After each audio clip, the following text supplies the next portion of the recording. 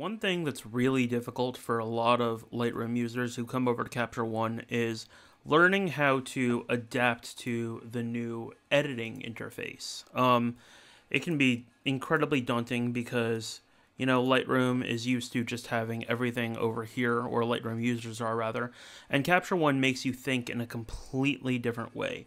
So I wanted to show you guys a little bit today about how at least I edit uh, when I do reviews over at the Phoblographer. Um, wanted to show you a little bit about how I edit the images that we shoot. So, first off, full disclosure, over at the Phoblographer, we barely ever edit our images.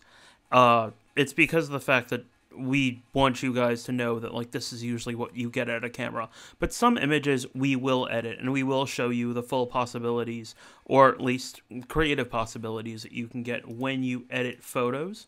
So let's take a look right now. So here are some seascapes that i shot over in williamsburg. Um, i live in brooklyn and this is one of my favorite parks. So basically i was shooting with the panasonic uh, S1 and the 16 to 35 millimeter f4. So how would I edit this? Um, you should know that there was a circular polarizer on here, and I purposely overexposed because I wanted to be able to test the uh, dynamic range and some of the abilities of the lens. Plus, I knew that like I could actually, you know, get more from the images. Dynamic range of the camera, rather. So there are a couple of different ways that you can start editing. Uh, you can, you know, work on a couple of things here in the lens correction pile. You could say, oh, okay, I want to do that, and then I can reset that to zero. Usually I won't. Um, if the manufacturer profile of a lens is not really there yet, there are a couple of other options here. You can say, hey, I want to work with generic pincushion distortion, and I know that that's too much right there. So if I go to recommended lenses instead, uh, let's go back, or manufacturer profile, yes, that's what it was. And then I say the generic, then it automatically corrects on the edges, and then I can even, you know, stretch that further. So cool, now I've got something uh, that looks pretty okay.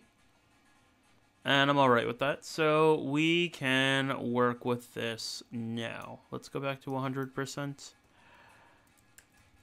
Cool.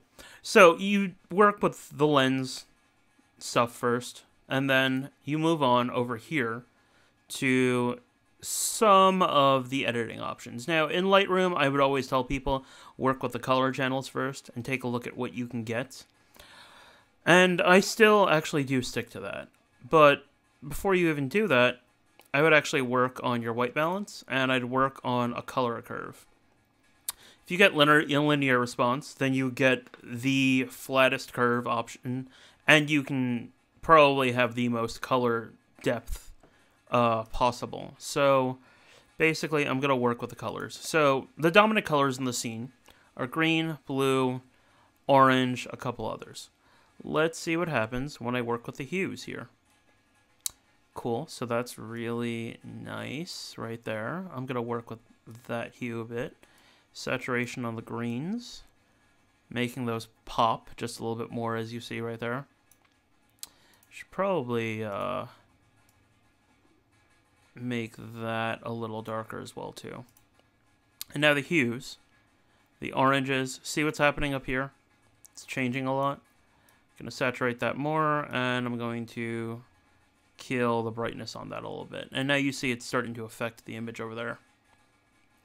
So now if I go to uh, high contrast, now I'm getting an image that I really like over there.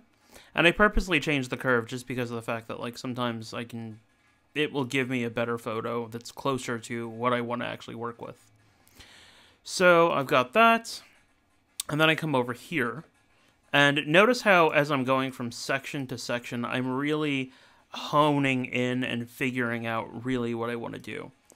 So I'm going to kill the highlights a bit more, kill the whites maybe a bit more, deepen the blacks. When you deepen blacks, uh, you can actually create an image that looks a lot sharper to the human eye. Gonna up the contrast. I think I may add some vignetting. No, Mm, actually, yeah, I like it. So I'm make that pop a bit. Clarity here, you have a couple of options here. You have neutral, you have punch, you have classic, uh, you have punch, as I said. I like punch, so I'm gonna work with that a bit. Let's see what happens if I uh, set it to what it was shot at. A little too muted for me. So I'm gonna go with daylight white balancing instead. And now I get more of those blues that I was talking about. Now I'm gonna sharpen. Notice how, again, I'm going from section to section because it makes me focus on one edit again over another. Uh, not going to work on that, not going to work on that. Don't really care for that. Do I care for anything here? No, those are my presets. Don't really care once again. So now I'm going to, let's see what happens when I mess with the whites. Okay, I get a lot more from the highlights. And I get even more from the highlights there. Cool. I like that. Now if I do this, I'm getting even more from the midtones. And notice what's happening to the curve over here. It looks nice. So I'm going to work with this and I'm going to keep this here. Now I think I'm pretty much done. And what I'm going to do is I'm going to sync it to a couple of photos. Let me sync it to these ones. And what I do is I copy the adjustments and I apply them. And now I make sure that all of those are copied in. And then it'll just do it. And that's how I can quickly edit through these images. Well, edit the images rather. So now let's say I want to work on this image. Completely different. Let's turn it into a black and white. So completely negating anything. Okay, cool. It's fully reset. We know that. I knew that. I was just keeping you guys on your toes. So again, working with the generic option here because this profile is not available right now. Let me confirm that. Yeah, no, it's not available right now in Capture One. So we're going to work with this. Uh, we're going to keep the sharpness on. There is no real light fall off, so we don't have to worry about that. Chromatic aberration. Done. We're all set there. So we did all the lens corrections. Maybe I will undo this just a tad. Cool. I'm looking at that straight line over there. What I'm also going to do is I'm going to rotate this freehand just a bit to straighten that up even more. And now we're seeing that this looks a little distorted. So now there we go. At zero. No, I'm going to give it... There you go. Perfect. So you would mess with the generic. Capture One's distortion editing tool is pretty good. It's not like Adobe Upright. Adobe Upright is pretty fantastic, and I miss it in this program, but it's not here. So now I can work with all of these. And see what happens when I go to extra shadow, and then high contrast, and then film standard, and then linear response. With linear response, it's sort of like you get a flat profile, so you can work with a whole bunch of stuff. Gonna work with daylight white balance, but let's see what cloudy does, and shade. Tungsten's gonna be all blue, I'm sure. Oh, that's so cool. Flash. Let's deal with shade. Cool. Yeah. So, what I'm to do is I'm to work with this as a black and white image. And what shade does is it allows me to separate the color tones versus like daylight, you know, everything's more of the same color tone. Cloudy might arguably be better. Actually, yeah, let's work with cloudy because there's more blue there, there's more orange there. We can separate things out. So now if I enable it as a black and white, I'm going to mess with things a bit. So now we get more details out of this section over there. I mess with yellow, even more details. Green, uh, you get very slight details over there. Cyan, very slight details. Blue, you're getting a lot more. And magenta, you're getting nothing. So, okay, we've got some of our details now. And we've worked with specific color channels. So now we get an even more flat image. And we can work with that. So now what I'm going to do is I'm going to say I want more contrast but I also want a little bit more brightness, and I want to kill the highlights more. And I want less whites, I want deeper blacks to make it look better, a little bit more shadows, I want clarity, Uh, but I want it to be classic looking instead of natural. Actually, no, natural looks good. That's punch. Let's go with natural. And now let's vignette a bit. I actually like vignetting. A lot of people don't. They think it's uh, a little cliche. I think that it's a very powerful tool for photographers, and I don't think that we use it enough. So now I create a very moody image, add some sharpness, and that's about it. If you want to see it in full, there is a way to enter full screen just like this. I like that photo. That was the other one that I edited. I think that looked cool. So now I get out of that. And that's really about it. Let's show you a couple of other photos, though. Now, in the past couple of months here at the Phoblographer, we haven't really had a lot of time to test products uh, as much as we would, partially because of the fact that, well, COVID 19 is happening right now, and there's not really a whole lot of time for us to test anything, really. So let me go through and show you guys a couple of things right now. Let's take a look at this stuff during the party. Let's go to the green images. Let's go to something like, come on, that was an image there. And sometimes it'll take a long time to render, partially because I'm on a Drobo, but usually it won't. So I'm working with the Sigma 24 to 70 28 here. And I'm going to, let's see what happens when I work with, let's see if that's here. I'm not even sure it is. 24 to 70 DGDN. No, their previous one is. So now I'm going to work, instead of with manufacturer profile, I'm going to work with a generic. And it, see how much of an improvement that was? So let me show you again. This is manufacturer profile. And this is the generic profile. Cool, right? Yeah, I think so. So I'm going to mess with this just a bit. I'm going to go to daylight. Let's see how that looks. Okay, that gives us a little bit of a great starting ground to work with this.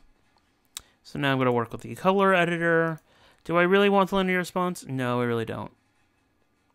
I'm okay with, uh, no. Film standard. I like that look more. So now, if I mess with the hues, what happens? Take a look. See, this is his skin when it's not really messed with, and this is it otherwise.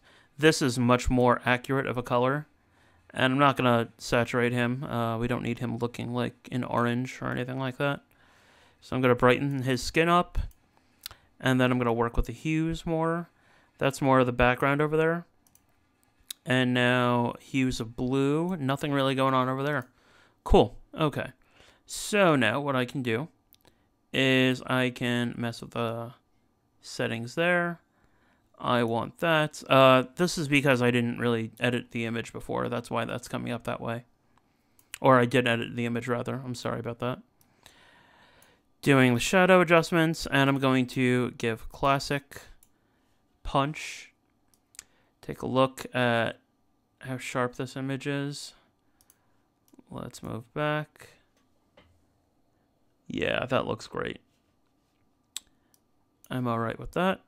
Cool. So I'm going to copy the adjustments here, and I'm going to look for a similarly lit image. That's not one. Hmm. Do I want that one? No. Let's apply the edits to this one. Let's see what happens. Uh, apply adjustments. Nope, obviously that didn't work. So let's see what I get here. So, gonna work with the edits once again. Generic, and I'm gonna go with 100. Cool. Now I'm going to, let's see what happens with the different white balances. Let's say flash, way too much. Let's say daylight, nope. And let's say shot. Shot works, cool. I'm gonna lower the exposure first off. And I'm to go with linear response. And now when I do that, I can probably actually boost the exposure back up. Yeah, cool. Notice how flat the image is right now? So now I can work with the editor again. And let's say the hue of the oranges, what's that look like? No.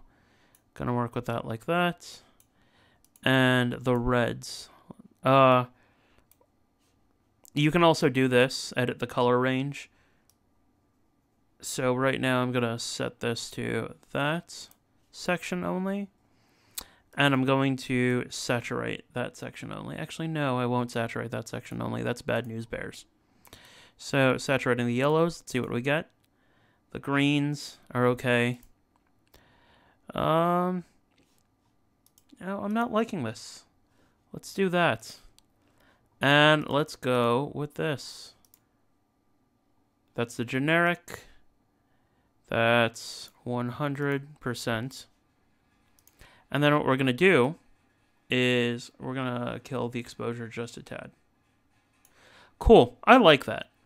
But let's see. Let's go to some inspiration. I'm going to use a couple of presets that I have over here. I'm going to use... Capture One has a couple that are built in. What's the fashion preset look like? Just a little bit of pop. IQ Professor looks okay. Cool. Let's zoom in just so I can show you guys. This is a Canon. No, this is a Sigma lens, actually. I thought it was a Canon. Never mind. Because I shot Canon and Sigma both that night. And you can work with other presets or styles. Capture One likes to call them styles. Just if you wish. So, that's really how I go about editing. Remember, it's about editing piece by piece and section by section instead of just going all the way down and then scrolling all the way back up. I don't think that that is really conducive to creating better images. I think really focusing on one section at a time is a lot better for you. And that's really about it, folks. Take care. I hope this was helpful.